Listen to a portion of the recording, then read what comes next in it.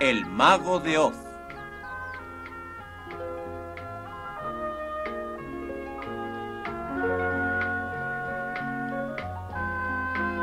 Dejadme que os explique una historia un poco extraña. Es una historia referente a una niña llamada Dorothy que vivía en Kansas. Aquel día habían dejado a Dorothy al cuidado de la casa con Totó. Entonces, de pronto, empezó a soplar un viento huracanado.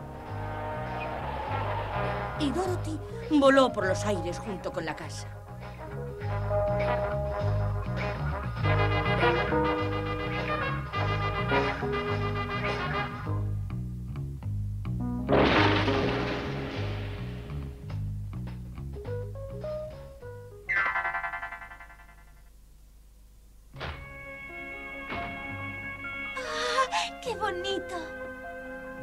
El hermoso país de Oz lo que tenía ante sus ojos. Gracias. ¿Qué? La bruja del norte había aparecido. Lo lamento. Está bien, no te preocupes porque me has salvado destruyendo a la malvada bruja del este. ¿Eh? Bueno, querida, como ella está enterrada debajo de la casa, descansaré al fin. Este par de zapatos mágicos es tuyo, Dorothy. El mago de Oz que vive en el castillo de las Esmeraldas conoce seguramente el camino que te llevará a Kansas. Sigue recto por la carretera pavimentada con adoquines de oro hasta llegar a Oz. ¡Eh! ¡Eh! ¡Eh! ¡Señorita! ¡Eh! Hola, espantapájaros. ¡Hola! ¿Vas al castillo de Oz? ¿Eh? Verás, me gustaría tener un poco de cerebro. Mi cabeza está llena de paja, así que no puedo tener ideas sobre nada. En el camino se encontraron con el hombre de hojalata. Amigos, llevadme con vosotros. Quisiera tener un corazón vivo, porque el mío también está hecho de hojalata. Y los tres acabaron encontrándose con el león cobarde. A mí me gustaría tener un poco de valor. Entonces los cuatro viajaron juntos, llevando en su corazón sus respectivas esperanzas.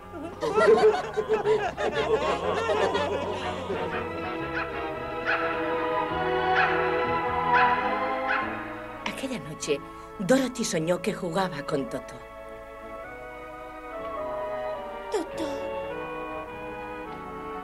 Dorothy tenía el presentimiento de que Totó estaría llorando muy solo en la lejana pradera de Kansas.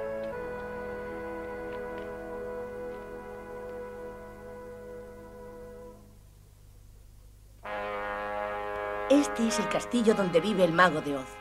Los rumores dicen que el mago de Oz es un hombre terrible y gigantesco.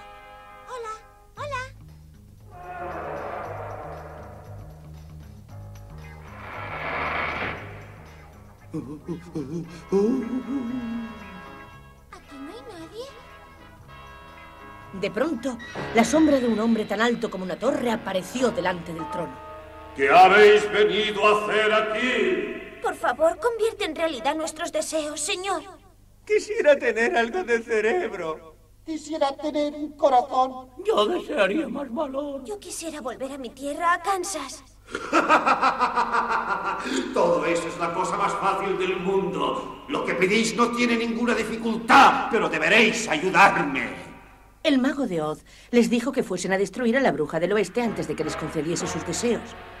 El país del oeste que Oz había mencionado es un espantoso lugar gobernado por la bruja del oeste.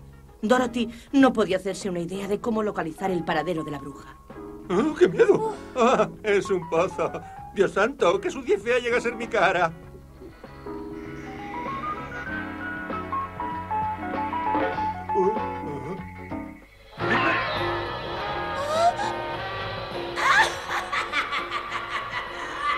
La temible bruja del oeste había aparecido. El fuego que la bruja emitía se desparramó sobre Dorothy y sus amigos.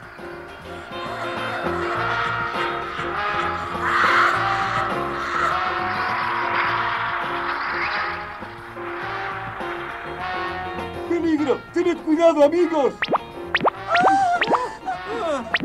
El hombre de hojalata se esforzaba desesperadamente para salvar a los demás. Sí. Ah, amigos, el agua puede ser nuestra salvación. Está bien, queréis un fuego más ardiente. El espantapájaros llenó de agua del pozo su sombrero y se adelantó con él hacia la luz.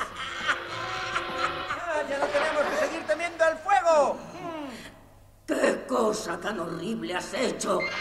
Has apagado mi precioso fuego con agua, que es lo que más odio. Aunque no me preocupa, tengo muchísimo fuego. ¡Ya puedo pelear! El león cobarde saltó sobre la terrible bruja.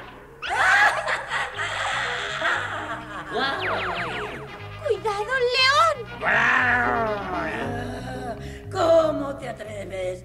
¡Quédate ahí!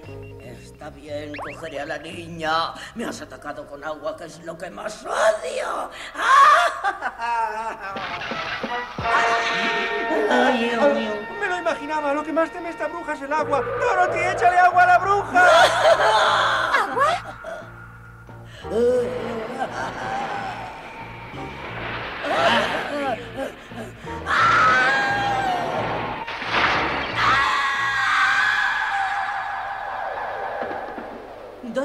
había arrojado agua a la bruja y ésta se deshizo. Así, finalmente, los cuatro acabaron con la bruja del oeste. Señor Oz, hemos destruido a la bruja del oeste tal como habías ordenado.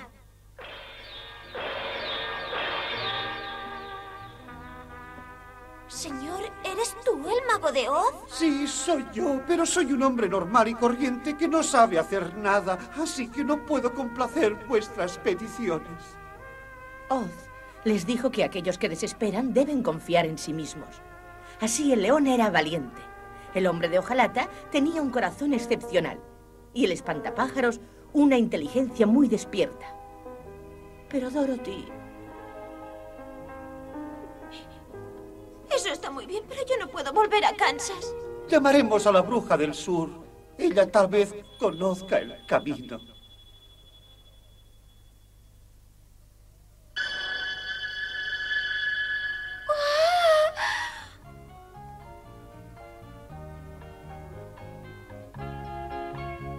Dorothy, Dorothy. ¿Sí? Te aconsejo que golpees el suelo con tus zapatos y podrás volver a Kansas, querida niña. Que Dios te bendiga. Que Dios te bendiga, Dorothy. Ahora, Dorothy.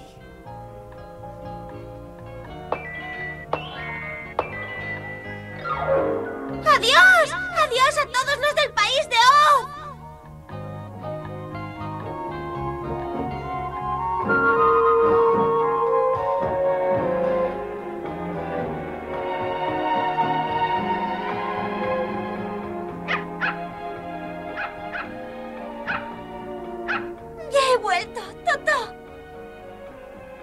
termina la extraña aventura de Dorothy.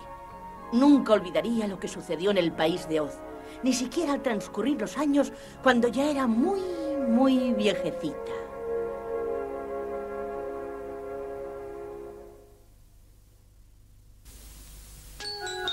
Los músicos de Bremen.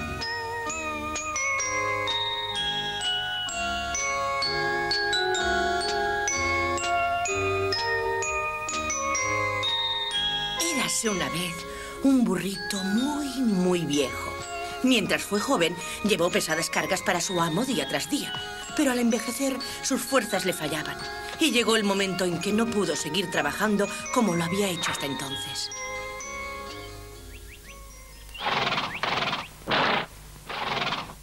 Ya no sirves para nada, maldito borrico. Mírate.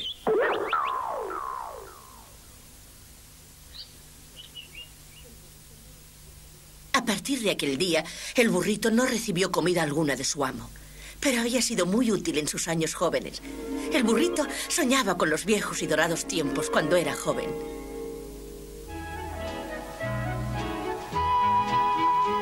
Particularmente recordaba la ocasión en que su amo le llevó a Bremen, donde se celebraba un gran festival.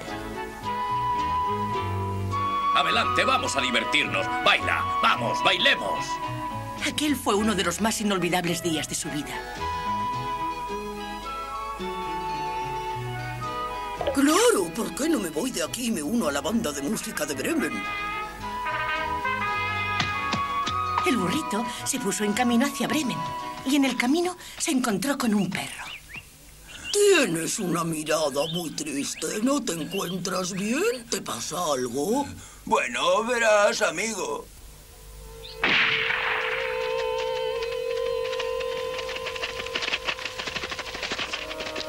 Obligación era correr detrás de la caza en cuanto aparecía, pero últimamente me cansaba enseguida.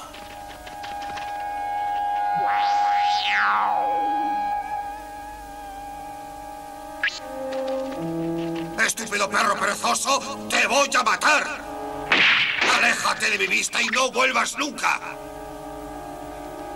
Verás, cuando uno se hace viejo, la gente empieza a pensar que no sirves para nada. Y ahora no sé qué hacer. Ya lo veo. Bueno, siendo así, ¿por qué no te vienes conmigo? ¿Eh? Yo voy a Bremen para reunirme allí con la banda de música. ¿Banda de música? Y así fue como el burrito y el perro marcharon juntos a Bremen. Por el camino, los dos se encontraron con un gato. El pobre ya no podía cazar ratones. El gato también es un animal hogareño, así que el burrito le invitó a acompañarles. Y los tres caminaron animosamente hacia Bremen. Por el camino, una vez más encontraron a otro ser desgraciado, un gallo, y los cuatro siguieron juntos el viaje.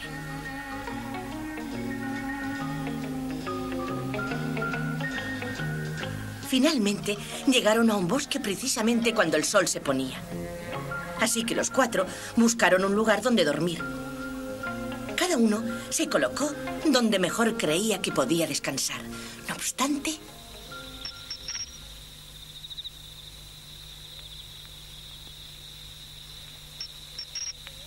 ¿Eh?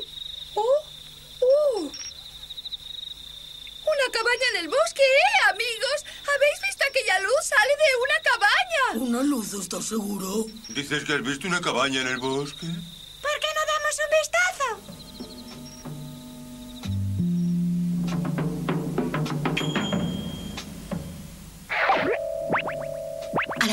Acercarse, distinguieron unas voces dentro de la cabaña. Bebamos por nuestro éxito de hoy. Parecen ladrones. ha sido un día provechoso. Por lo visto, la cabaña era el escondite secreto de unos ladrones. ¿Cómo? ¿Seguro que son bandidos? Me temo que sí, si os fijáis bien, tienen unas caras horribles. Ladrones, me está entrando miedo. Creo que lo mejor será alejarnos. Pero mira el banquete que se están dando. Esa comida parece deliciosa. Mm. Puede que tenga razón. La verdad es que estoy muy hambriento. Y yo también. Alguna manera habría para conseguir algo de aquella comida. El burrito se puso a reflexionar. Ya está. Se me ha ocurrido una magnífica idea. Bien, amiguitos. ¿Qué idea se le había ocurrido al burrito?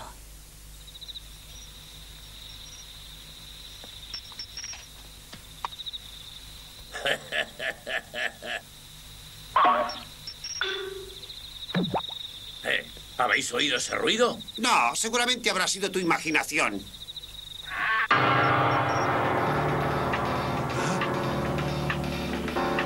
¡Son duendes!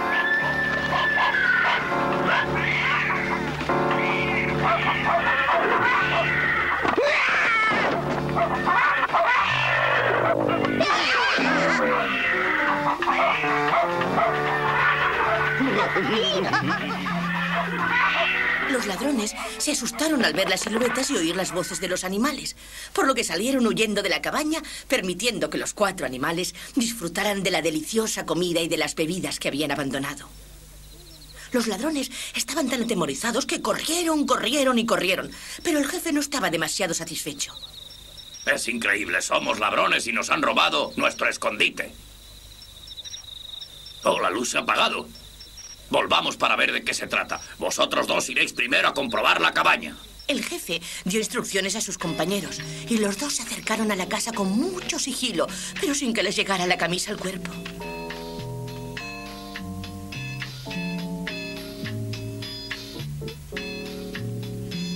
Los cansados pero satisfechos animales estaban durmiendo a pierna suelta dentro de la cabaña.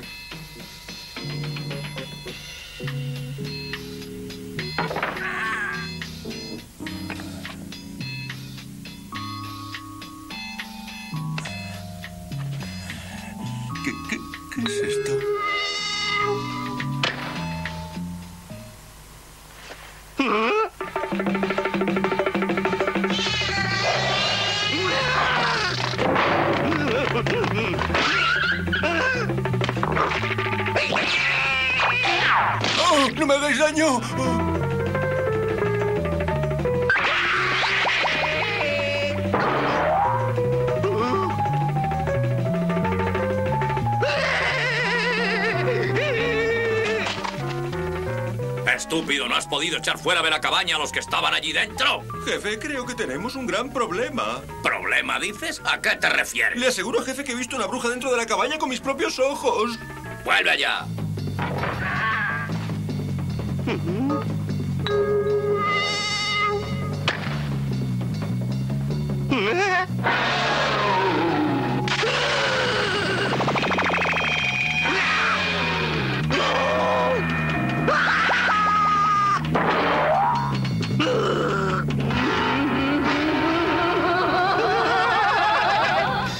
Bruja muy peligrosa. En ese caso, será mejor que huyamos para salvar nuestras vidas. ¡Vámonos de aquí! Ah.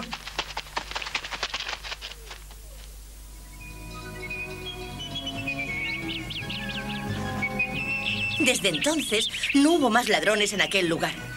A los animales les gustó tanto la cabaña que decidieron quedarse allí y entretenerse tocando música. Así vivieron felices el resto de sus días.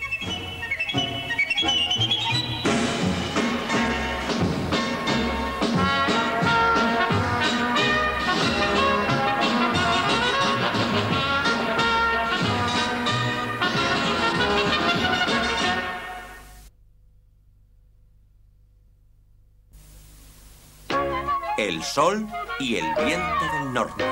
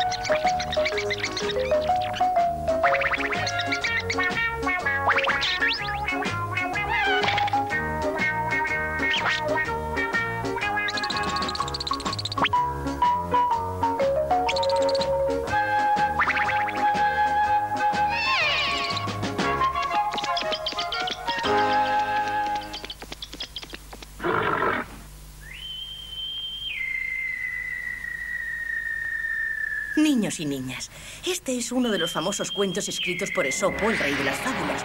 Un día el viento del norte dijo orgullosamente al sol. Bueno, yo soy el viento más fuerte del mundo. La gente te llama señor rayos de sol, símbolo de la brillantez y cosas por el estilo. Lo que contribuye a tu popularidad. Pero tú te reduces a quedarte ahí y sonreír. Dime, ¿qué clase de poder posee? El sol respondió sencillamente. No lo sé. Y siguió sonriendo. El viento del norte, cada vez más orgulloso, siguió hablando al sol.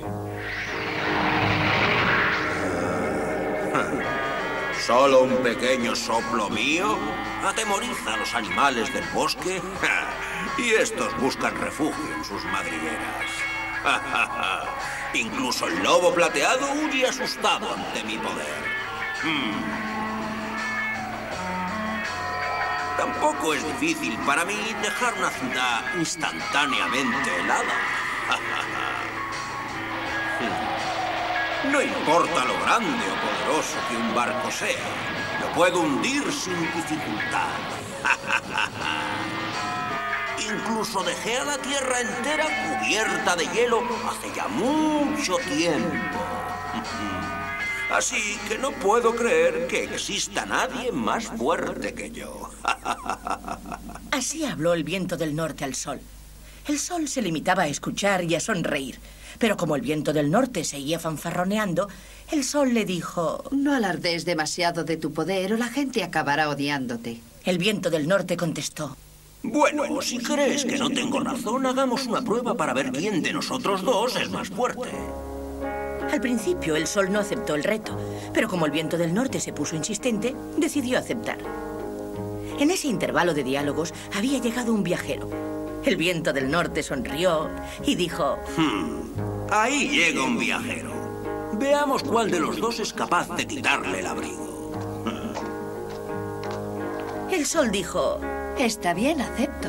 Prueba tú primero, señor viento del norte. El viento del norte, muy confiado, emitió un soplo.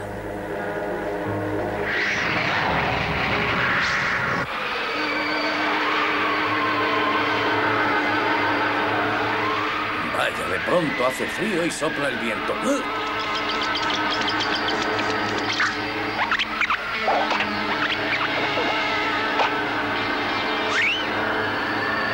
El viajero se arropó mejor en su capa y quedó tan envuelto en ella que el viento no pudo arrancarse. El viento del norte maldijo al viajero y lanzó un soplido todavía más fuerte.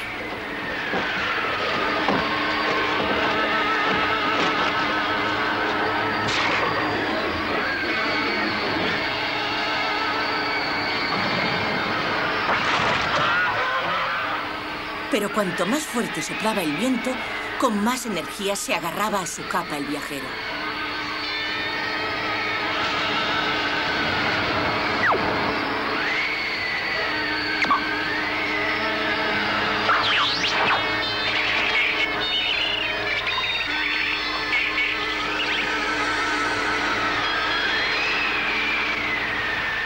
Oh, ¡Qué hombre tan estúpido! Dijo el viento del norte impaciente y lanzó un último soplo poniendo en el último gramo de su poderío.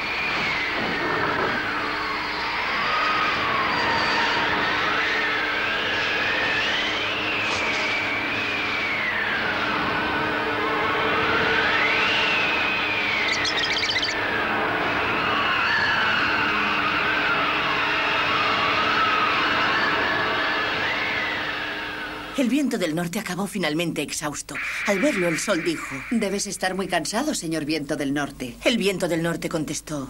Ah, no. Me estoy tomando un breve descanso. Pero no parecía muy a gusto. No niego que eres muy fuerte, pero no pareces capaz de quitarle el abrigo a este hombre. Ahora es mi turno. Veamos de lo que eres capaz. Si mi extraordinario poder no lo ha conseguido, ¿cómo vas a conseguirlo tú? Bueno, por favor, relájate y mira.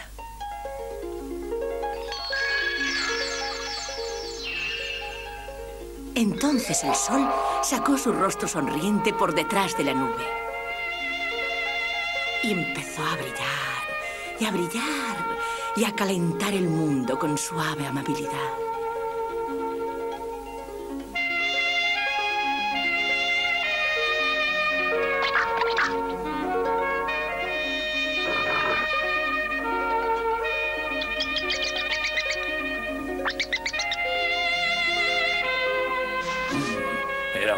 Realmente terrible.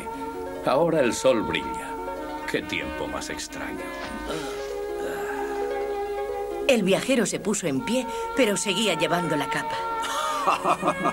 ¿Solo eso puedes hacer? Se burló el viento del norte. Pero el sol no tenía prisa y dijo... No te preocupes, pronto verás el resultado.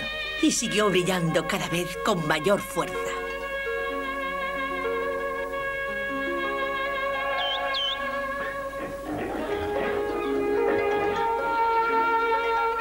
Entonces el viajero comentó... Ahora hace un tiempo realmente espléndido.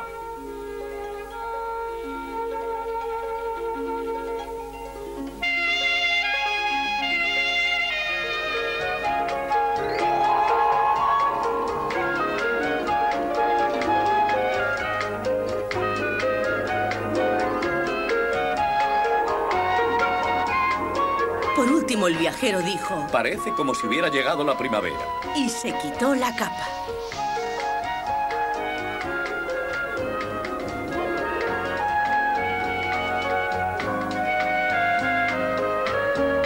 Así el sol ganó el reto al viento del norte. El viajero siguió su camino alegremente en un día radiante de sol.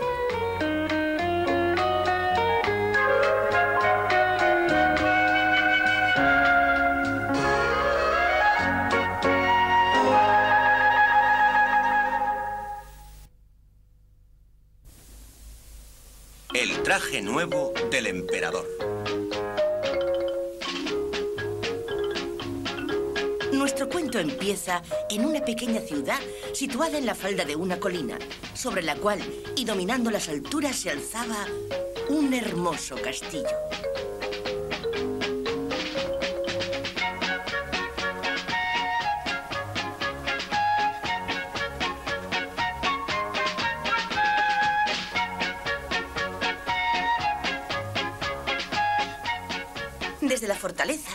Monarca dirigía los destinos del país.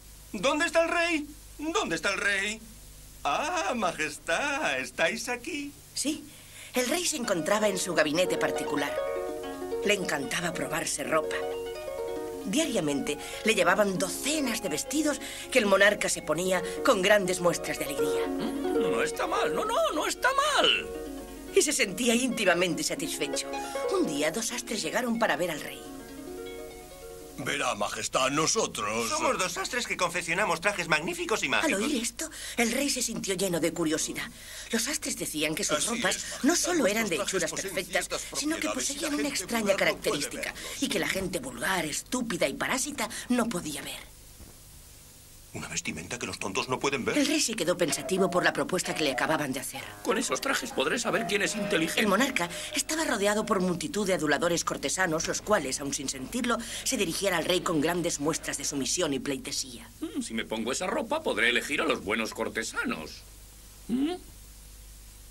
Su Majestad ordena que hagáis el traje enseguida. Los dos sastres recibieron el dinero suficiente para empezar a confeccionar el traje, pero aquellos dos individuos eran un par de bribones.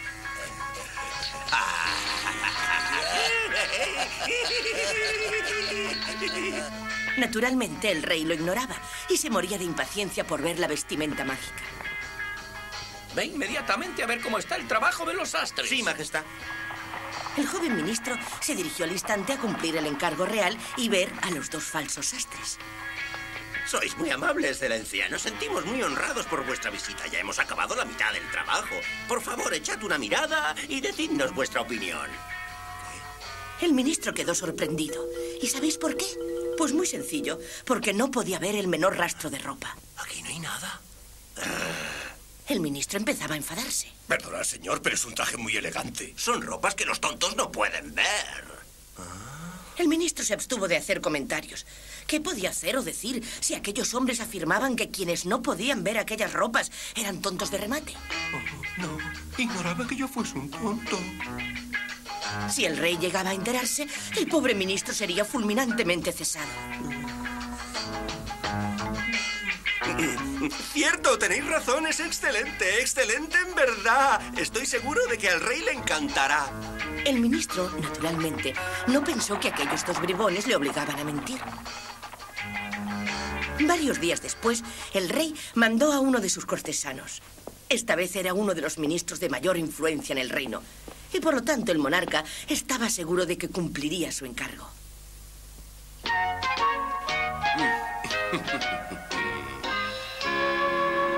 ¿Dónde están las ropas mágicas? Preguntó el ministro con arrogancia. Y los dos falsos sastres contestaron. Podéis verlas aquí, Excelencia. El hombre señalaba el telar donde no había nada. Tampoco esta vez supo qué hacer el viejo ministro. No veo nada. Pero no podía decirlo en voz alta porque le habrían llamado tonto. Oh. ¿Verdad, señor, que es un traje muy hermoso? Sí, qué color, qué brillo, excelente, muy hermoso. Oh, lo mejor del mundo. Así se expresó el desconcertado ministro. Luego se apresuró a ir a la corte para informar al rey. Espero y deseo ver pronto mi nuevo vestuario real.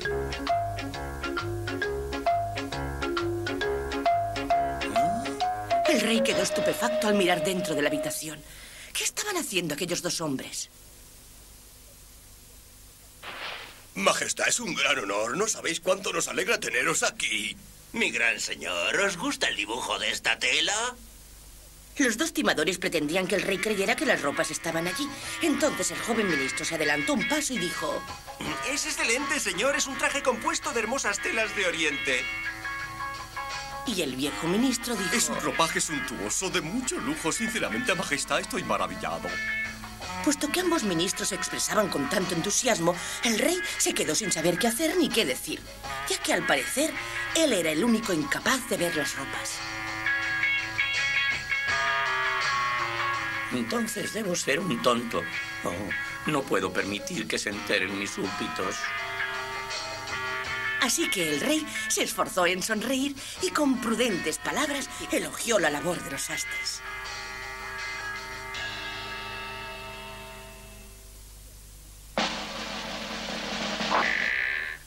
se anunció que el rey con su nueva vestimenta desfilaría por la calle mayor de la capital.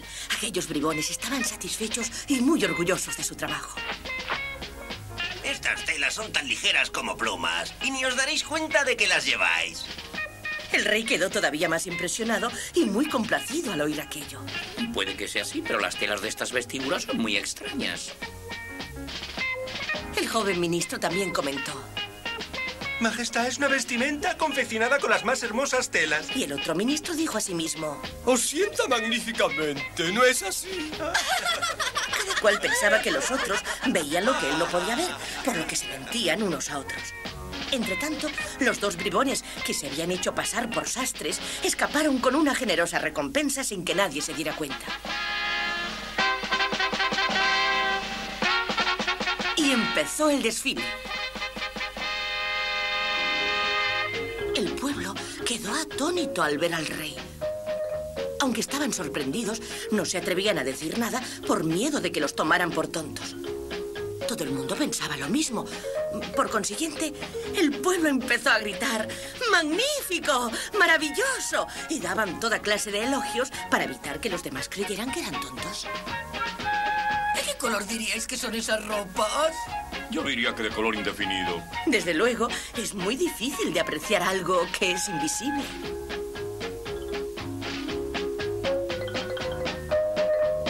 Un chiquillo se asomó entre la multitud y exclamó... ¡Mirad!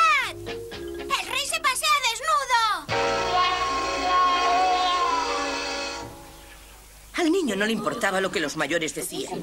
Él era absolutamente sincero. En realidad, el rey iba desnudo. Entonces el pueblo empezó a comprender. El rey no llevaba ropas mágicas. La verdad era que no llevaba nada puesto. El rey acabó dándose cuenta de que había sido burlado, pero era demasiado tarde para detener el desfile.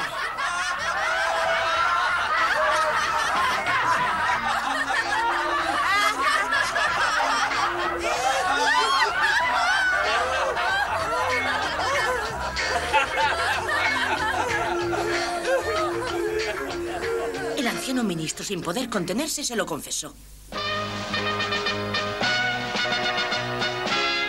Y siguió caminando rojo de vergüenza hasta las raíces del pelo. Siguió caminando seguido de todos sus cortesanos, pero totalmente humillado.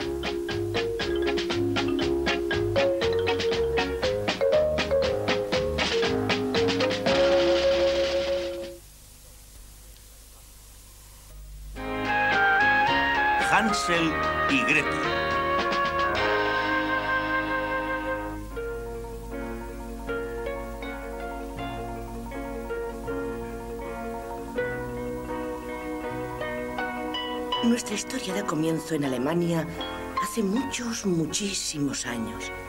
Allí vivía un pobre leñador que habitaba en una humilde cabaña en pleno bosque. Tenía dos hijos. El hermano mayor se llamaba Hansel y el nombre de su hermana era... Gretel, despierta. Nuestra madrastra quiere algo de nuestro padre y parece que lo desea con urgencia. La historia de lo que sucedió es realmente pavorosa. Aquella mujer casada con el leñador intentaba convencer al pobre hombre para que hiciera algo terrible. Mañana iremos al bosque y abandonaremos en la espesura a tus hijos Hansel y Gretel con el pretexto de cortar un árbol. El padre, que era un hombre muy apocado, acabó aceptando la sugerencia de su malvada esposa. Por fin amaneció el día siguiente y llegó la hora de ir al bosque con Hansel y Gretel. Hansel, ¿qué estás haciendo? Vamos, pequeño, ven aquí enseguida. ¿Por qué pierdes el tiempo? Sabes que nos queda mucho camino por recorrer. Hansel había cogido un puñado de guijarros y los iba dejando caer mientras se adentraban en el bosque.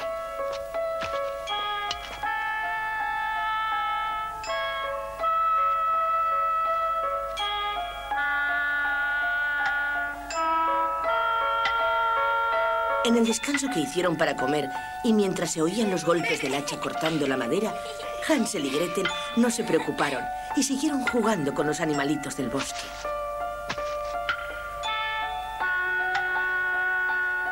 Pero transcurrió la tarde y el sol se fue oscureciendo por el horizonte, dejando que las sombras se fueran adueñando del bosque. Los pobres niños se encontraron de repente solos. El sonido que habían oído no era el del hacha, sino una rama que la madrastra había dejado para que golpeara el tronco de un No árbol. te preocupes, Gretel, y confía en mí. Esperaremos a que se levante la luna. Y la luna no tardó en asomarse. Mira, Entre las sombras de los árboles y de las matas, aquí y allá, resplandecían los guijarros que Hansel había dejado caer para que le sirvieran de guía en caso de perderse. Y siguiendo los guijarros, los dos niños lograron regresar a su casa.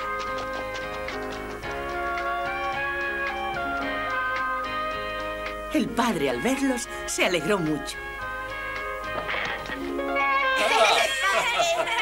Pero la madrastra estaba furiosa. Ya veréis mañana. Llegó el día siguiente y Hansel, por desgracia, no tuvo tiempo de coger guijarros.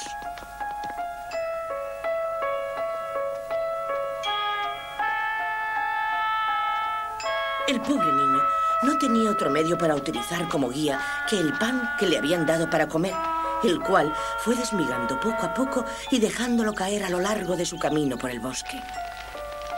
Los dos pequeños habían sido abandonados de nuevo y se encontraban aterrados. Trataron de encontrar las migas de pan que les daría la posibilidad de regresar a su casa. Sin embargo, las migas habían desaparecido. Creo que ya lo entiendo. Se las han comido los pájaros. Entonces ya no podremos regresar a casa nunca Gretel más. rompió a llorar y Hansel también estuvo a punto de hacerlo, pero supo dominarse. No te preocupes, Gretel. Lo que hemos de hacer es buscar el camino.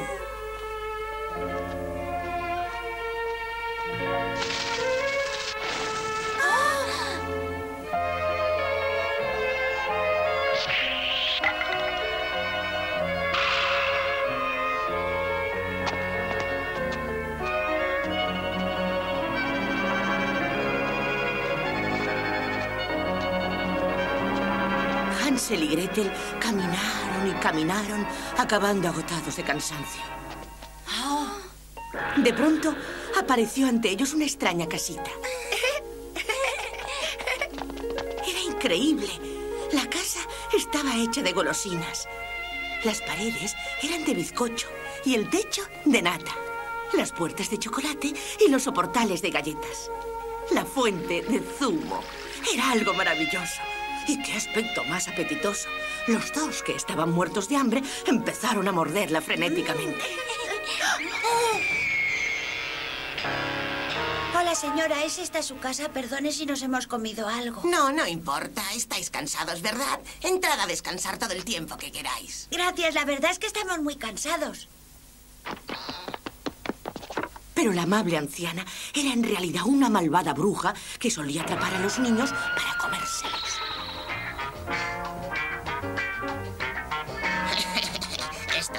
Tienen un aspecto muy apetitoso, pero esperaré para comérmelos a que estén un poco más gordos.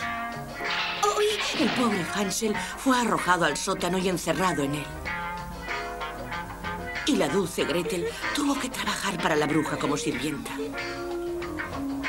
A partir de ahora trabajarás para mí y dejarás todo muy brillante.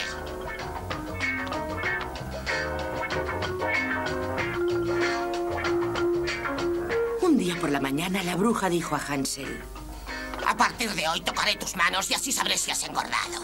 Pero Hansel dejó que la bruja palpara un hueso del pollo que había comido. ¿Todavía estás así de delgado? Tendré que esperar más para comerte. Cuando le pedía su mano, Hansel siempre engañaba a la bruja. Pero llegó un momento en que la malvada anciana fue incapaz No de me seguir importa esperando. que esté delgado. Voy a comérmelo. ¡Gretel! ¡Te enciende un buen fuego en la cocina! La pobre niña pensó enseguida que su hermano iba a ser devorado. Ahora debo ser fuerte.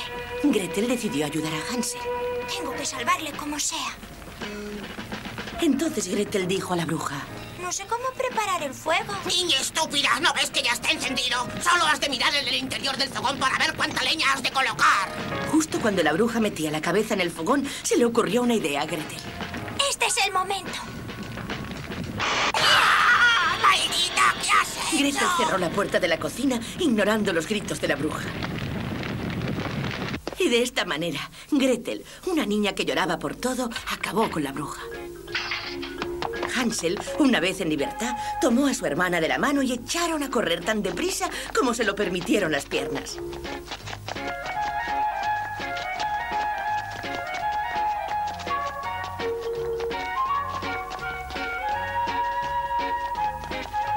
Cuando llegaron al río, el cisne se acercó a la orilla y los transportó al otro lado como si fuera una barca.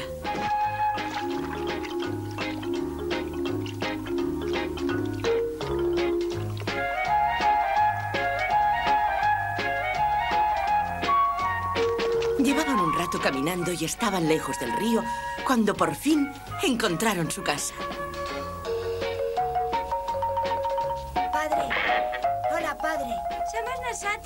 El padre acogió con gran alegría a sus hijos que por fin habían vuelto a casa, ya que se sentía culpable por lo que había hecho.